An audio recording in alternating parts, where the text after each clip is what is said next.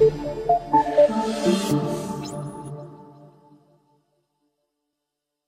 million tons of carbon emissions sequestered permanently that would have otherwise gone to the atmosphere.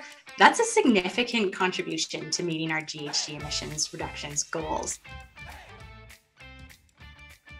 Hi, you're watching Global Energy Show's 5 by 5 I'm Rachel Gregory, and chatting with me today is Candice Paton, Director of Regulatory Affairs and External Relations with Enhance Energy. Candice is also recognized as an energy industry influencer Candice, thank you so much for joining me today. Thank you so much, Rachel. It's great to be here. Enhance Energy specializes in carbon capture and sequestration in central Alberta.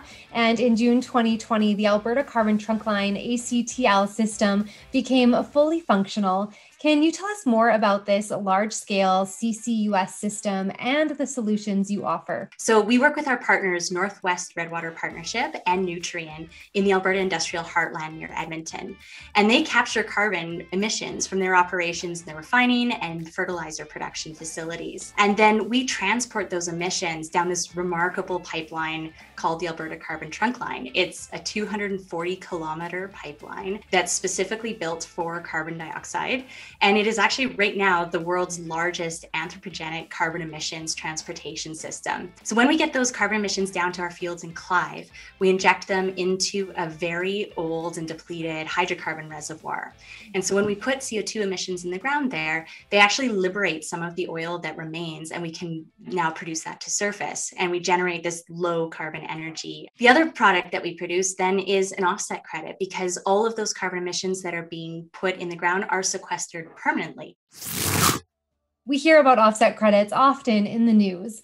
How does industry verify offset emission credits? And how is Alberta set up to enable huge scale reductions in offset emissions? It's one of the things I think we're most proud of at Enhance Energy. We've been working hand in hand with the Alberta government and the regulator to build what's called an MMV plan for monitoring, measurement, and verification. And that's really, I think, where we're playing to Alberta's strengths, leveraging what we know about our regulatory system and the oversight that we've built through hundreds of years in our oil and gas industry industry, we're now using that to, to look at how we can make sure those carbon emissions are safe, permanent, and stored in our geology in ways that are verifiable.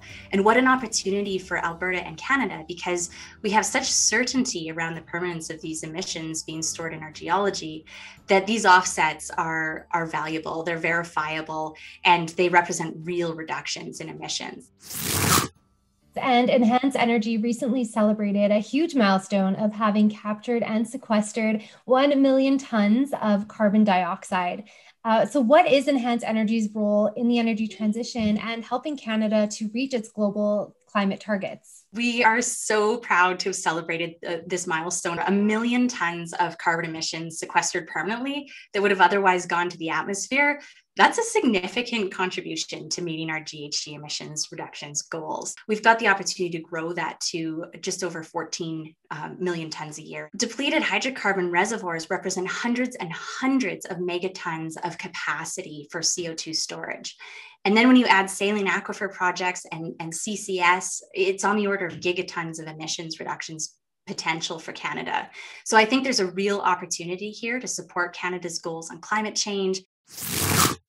What innovation are you seeing in the carbon capture space, and why is it such an exciting time to be a part of it? Really is such an exciting time, Rachel, to be part of innovation in this space. We're seeing amazing advancements across the whole carbon value chain from capture and conversion advancements to utilization to sequestration. There's so many different approaches. What I'm most excited about, though, is this idea of systems level integration and, and innovation along the whole energy system. We know it's important when we talk about energy transition to see multiple energy pathways that can support us getting to our climate change goals.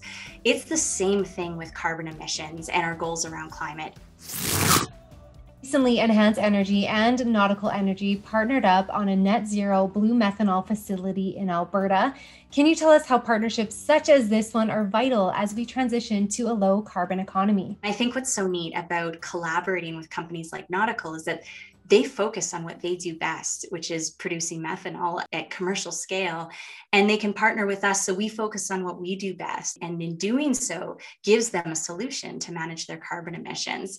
And that's really exciting. I think it speaks to how all parts of the energy industry, when we come together, when we integrate those solutions, when we collaborate, we've got this. It was so great chatting with you and learning about Enhance Energy and the amazing work that you guys are doing in our province and within Canada. Thank you so much, Rachel.